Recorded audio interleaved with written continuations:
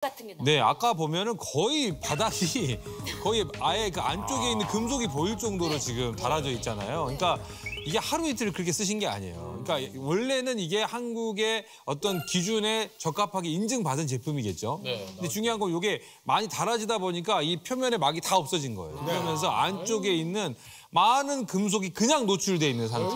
거기에는 아까 처음에 말씀드렸던 카드뮴도 있고 알루미늄, 니켈, 납 이런 것들이 다 포함이 되어 있는 거예요. 사실은 이거를 그러면 장시간 내가 스- 그 섭취를 했다. 어떤 일이 벌어질까요?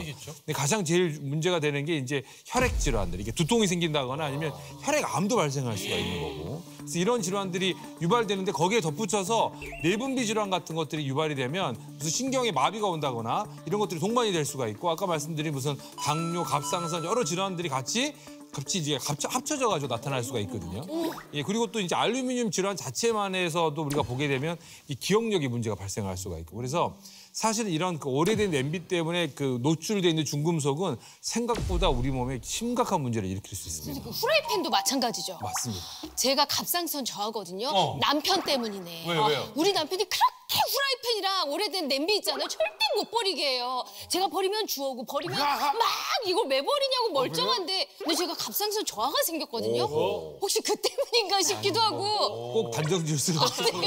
아, 그 아니면 다행인데요. 심각할 때는 이런 문제를 우리가 아니, 고려를 근데 해야 된다. 보통- 근데 진짜 아까워. 전 집에 있는 아깝지. 프라이팬이나 뭐 이런 게 10개라면 거의 막 다 벗겨진 게 한 7개는 되거든요.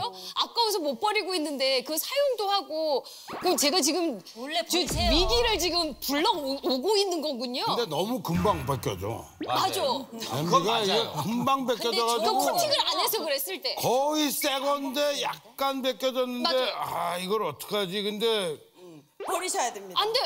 네. 조금 벗겨져도 버려. 그러니까 네. 일단 그러니까- 벗겨지는 건 싼 거야. 아니 프라이팬을 그런 수세미를 강한 수세미로 하면 벗겨져요. 네, 좋은 네, 거 네. 쓰죠. 제가 그 말씀 네. 드리려고 했습니다. 네. 아기 목욕할 때 쓰는 스펀지. 있어요. 그런 살살살. 스펀지로 하거나 아니면 키친타올로 살살 닦아주셔야 돼요. 네. 그러니까 아예 거친 수세미 자체를 안 갖다 대셔야 되고요. 그런데 특히 양은 냄비 같은 경우에는 아예 원래 얘가 99% 이상의 순수한 알루미늄으로 되어 있어요. 그래서 이 알루미늄 용출 에 문제가 있거든요. 근데 특히 이제 오래 쓴 그 양은 냄비, 애착 냄비로 못 버리시잖아요. 완전히 정말 어.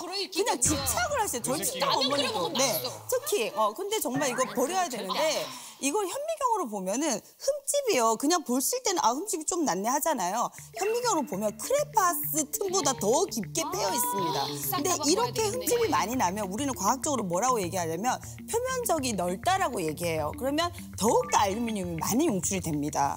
그리고 또 문제가 되는 게 있어요. 네, 이런 것도 문제지만 요즘에 이제 또 플라스틱, 미세 플라스틱 얘기했었잖아요. 특히 문제가 되는 게 이 코로나 시대를 그치면서 우리가 배달을 또 많이 시키잖아요. 그러면은 일회용 용기를 많이 쓰다 보니까 더 문제가 되는데 워낙에 이제 나노 플라스틱이라고 부른다고 했었잖아요. 워낙 작은 크기다 보니까 얘가 우리 몸에 이제 이렇게 음식물과 함께 들어가잖아요. 그 다음에 위를 통과해요. 장을 통과해요. 그런 다음에 혈관으로 들어가서 어디든지 갈 수 있어요. 그 다음에 심장으로도 가고 뇌로도 가고. 그러니까 이제 심각한 문제를 일으킬 수 있는 거죠. 그러니까 아직 연구가 부족하고 아직 많이 모르는데 앞으로 어떤 문제를 일으킬지 모르니까 우리가 잘 이제 이거를 좀 신중하게 생각하고 되도록이면 플라스틱 사용을 줄이려고 노력을 많이 하셔야 된다는 거죠.